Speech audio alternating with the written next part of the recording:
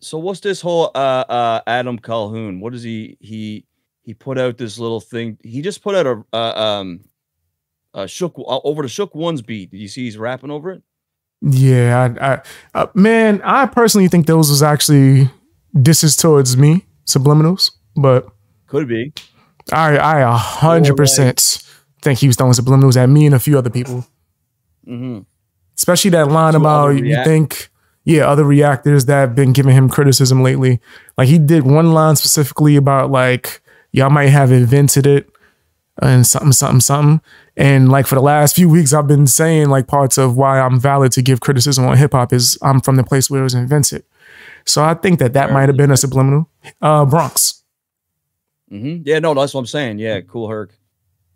Exactly. See, you know the history. See, you know, you know your history. Course, right. So. I think that that was like a little subliminal there, but I ain't want to just be like, all right, man, that's about me. I was like, when he said it, I was like, hmm.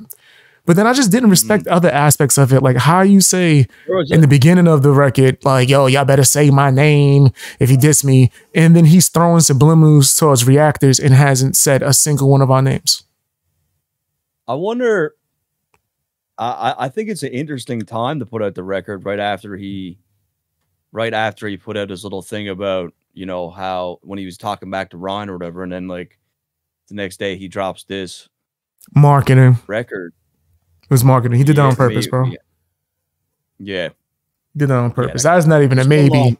That's a fact. There's one line as far I, as I'm concerned. There's one. There's one line, and I don't like Alan Cal- Adam Calhoun. I'll, I'll just call for what it is. Is not the type of hip hop that I listen to, but there's one line in there that I really liked that he had where he was like, "If my name is in your top ten, you're fucked up because there's only uh, one white guy that should be in there. The rest of them are black."